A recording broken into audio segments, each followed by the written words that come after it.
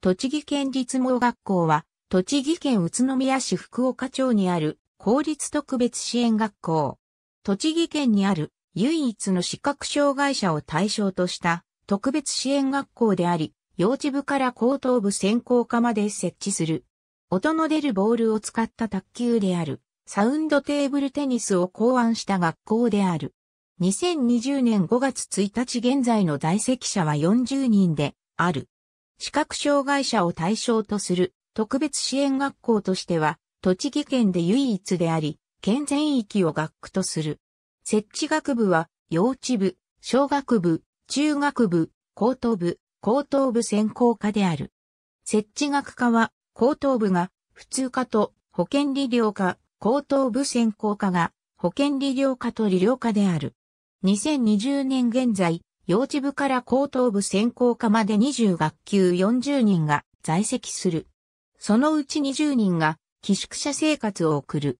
高等部と高等部専攻科は入学試験があり、学力検査と面接、その他必要な検査が課される。幼稚部は面接とその他必要な検査によって入学者選抜が実施される。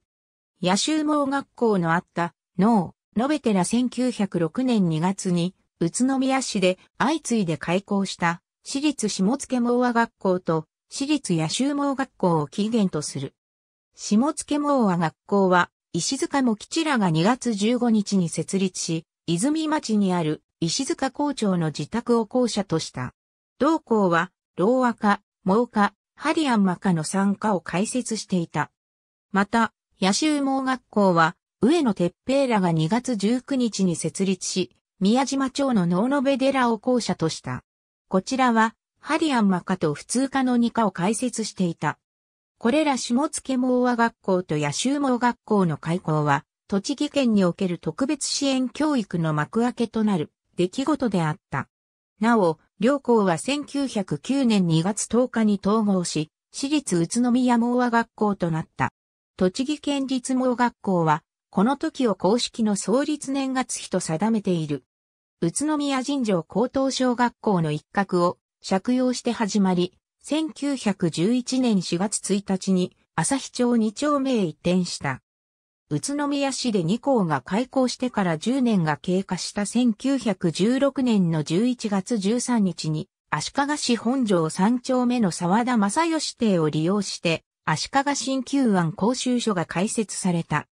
同書は、翌1917年8月30日に、栃木県知事の認可を受け、私立足利盲学校に改称し、普通科、新旧マッサージ科、アンマ塾科の参加を設けた。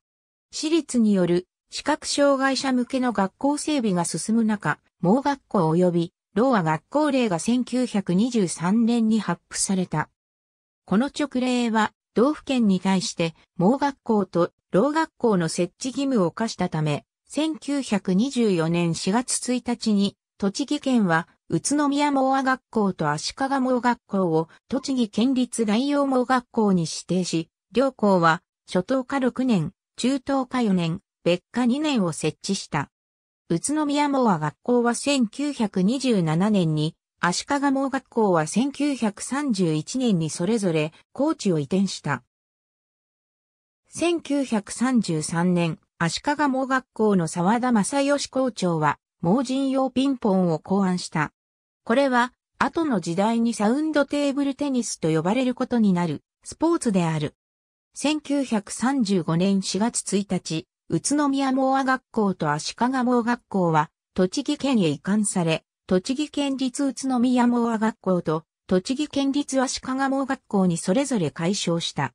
続いて1939年4月1日に、栃木県立宇都宮盲和学校の盲部と、栃木県立足利盲学校を統合し、栃木県立盲学校が発足した。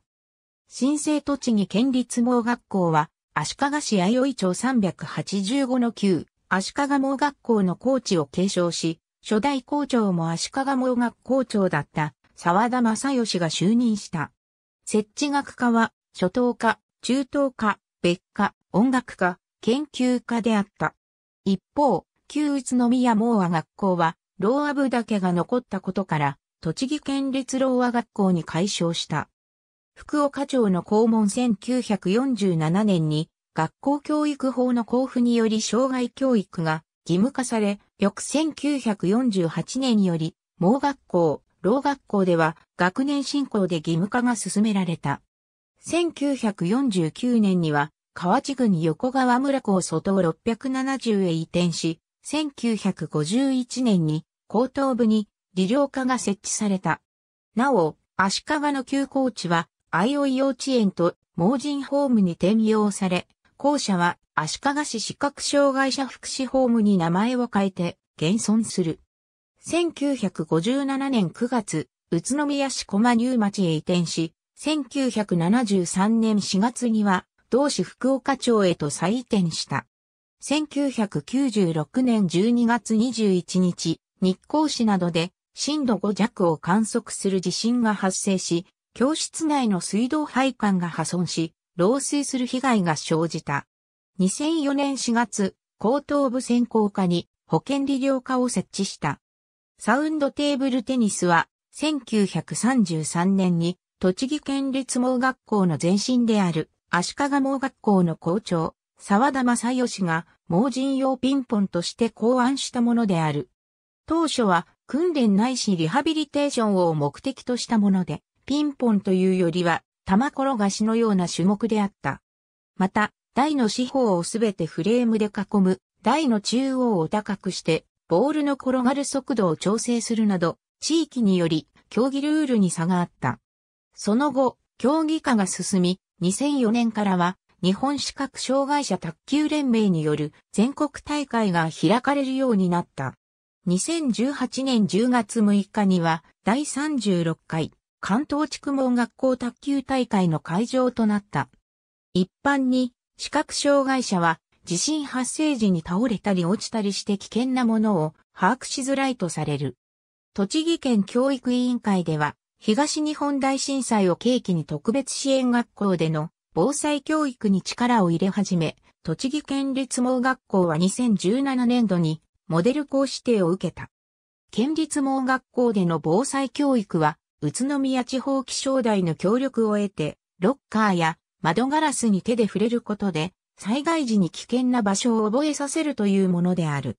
教員は授業中や校内移動時に生徒らに危険箇所を教えるなど日常的に防災教育を行っている。宇都宮モア学校は猛政部とローア部を設置し、ここに示したのは猛政部のものである。